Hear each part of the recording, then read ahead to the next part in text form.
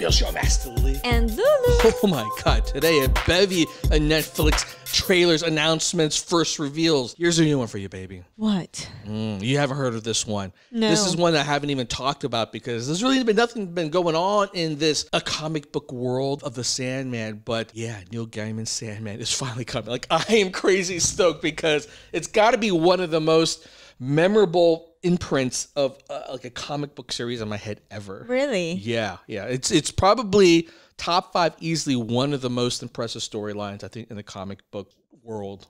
Ah. I never, never heard of his story. Uh, you never would have, like, unless I even talked about it, which I haven't, because quite frankly, I think the last time I read it was almost like 10, 15, maybe even 20 years ago though, since I read the series. So, in many ways, it, I think I actually would look forward to watching this because it's kind of refresh. It'll feel new again. But it's not a typical superhero, right? This ain't no like Ant Man, someone shrinks down, or an Iron Man, you know, who uh, likes to drink and party kind of stuff.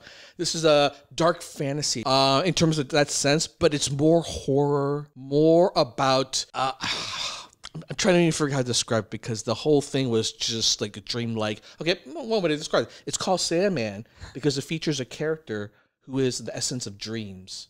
And there's all these different characters uh, from that realm. He has a sister, or, or not a sister, but like another person. Like the one that the, that has, he has another series that he wrote called Death. All right, and so Death is another character in this whole series. But the way they wrote this character is really like imagine Death coming back alive again. They had to come back to live a human life to experience what life is like to remind Death of you know that human existence. But death comes back alive as a young female emo kind of character mm. right? and it's fun. It was really fun to like see death in that kind of incarnation. Sandman though is, is much darker. Really? yeah much darker. I think well the series eventually evolved from horror to more like a fantasy series but the world is and storytelling is really really cool Really? yeah, I hope you like it. Uh, I, I don't know what they're going to show in this trailer, Uh, and it it's can very be a little short. bit heady, uh, but uh, hopefully, if they do this right, my hope is that it'll open up this world to a lot more people, and uh, and people like you who need things broken down to the simplest terms, right? So the clueless part no longer exists.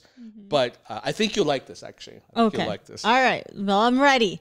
I don't know if I did any justice trying to explain this series. I, I'm just really happy to see that they're finally making this. I think this has been in development hell for like 20 years too. Oh, like they've been thinking about like, yeah, we're gonna make something from it, and then it just starts, stops, starts, starts. Like it just never has come to Netflix. Ballsy as they are, is taking everything that looks like it's impossible to adapt, and they're adapting it. Why not? Mm, yeah, when you got billions of dollars to blow, go for it. All right. By the way, if you want some cool commentary, check out my podcast. And if you want some hotness, check out my fantasy show on my OnlyFans. Mm, now that's a dream. Mm-hmm. Very dreamy. Mm. Not too dark. Nightmare. I All right, and away we go. Tonight, we will achieve what no one has even attempted. We will summon and imprison death. This is right from the beginning. Made from a stone. And I give you a feather. Pulled from an angel's wing. And I give you the blood from my vein. We summon you together! Come! Shit, looks Yeah. good. As family, desire, destiny, despair, Which Well, you didn't get death. dream. You're gonna need all the help you can get. Oh my god. Oh, that's it? Oh. Dude, he looks creepy as hell. Who is this guy who's playing Dream? He got that cheekbone, Yeah, that I know. stare. Oh my gosh. Oh my god, he looks creepy as f. All right, man. who who's playing this guy? I, I want to know now. Tom Sturridge. Who's that? Yeah, I don't know.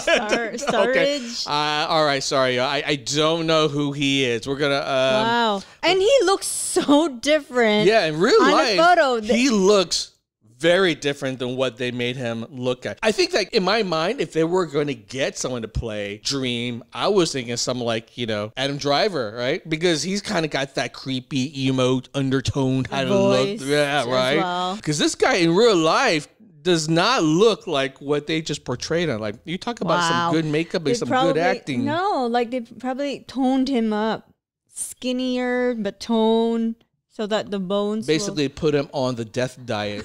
Don't eat. no, No, he looks pretty skinny here, actually. All right, all right, but so- he's so- really toned. It's not. I mean, if you're a fan of his, let me know. Like, what has he done here? Because uh, I'm looking at his uh, filmography here. Velvet Buzzsaw, haven't heard of it. Mary Shelley, mm, haven't seen him play that. Remainder on the Road. No idea who the F this dude is, which is uh, actually it's going to be refreshing because yeah, I don't know what to It's- expect. Yes, it's better. It's better. It- yeah, yeah. He's going to either make or break it. I mean, he has to. He's a central character. I, I don't know how they're going to play this because it's it's really hard to describe the personality that comes across. now you make me so curious. I probably have to read more about this movie. Um, there's a comic book series you can read it, but the series ran pretty long actually because I, I don't know if they were initially planning to think of it that long term of a series. I think there's maybe like 75 issues before they eventually stopped because the the whole feel of it really changed, and I wasn't sure if I was going to like it the, the way they were going to change it. But they were very good at introducing new story elements and new characters into that in that universe that made you like, all right. What's this about? What's this about? So you kept Right. reading it. I mean, you could tell here, like he looks menacing. He looks creepy. He looks like he's effing pissed. So I, I don't think I'm going to give anything away here by stating this, but He's pissed. They wake him up. oh, they didn't just wake him. they captured him. Oh my so god. So they basically were able to summon him and then capture Yeah. him for I forget how long, like fifty some years or something like that. So imagine this eternal being. He's been around for like been just captured, and he's you know he's He's finally. he's kind of got a cruel sense of uh, he's a very cruel character really dark. And suddenly you're humbled by the fact that maybe i'm stuck here right kind of thing. Let's just say he eventually does escape and then all hell breaks fucking loose. But he wakes up going like not going like yeah i'm gonna just seek my revenge and just wrath of the world. He's like you know what? I, I gotta go back to my kingdom and uh, his kingdom is like it's just gone all sh- all to shit. It's sort of like imagine coming back to your house for after like a, ten years and you're like fuck everything's a mess. right. And uh, it's a more of a humbled version of him, uh, like that kind of develops the a more human side of it. It's it's really interesting because it goes into like sense of like what his response, what his responsibility was versus like the cruelty of what he sort of reveled in in his responsibility Huh. and how that's changed and how this imprisonment. It's yeah, Good- good it's really, really question. Why is his character named Dream? because that is he's basically personification of dream. It looks like they were trying to summon death, and I don't remember if that was always the case. But death is also a, a like represents death, right? And so, uh, what were the other ones? Despair. He had so many. So there's other endless ones, as they're called. So there's destiny, death, desire, despair, delirium, destruction. All right. So he's basically one of seven endless characters.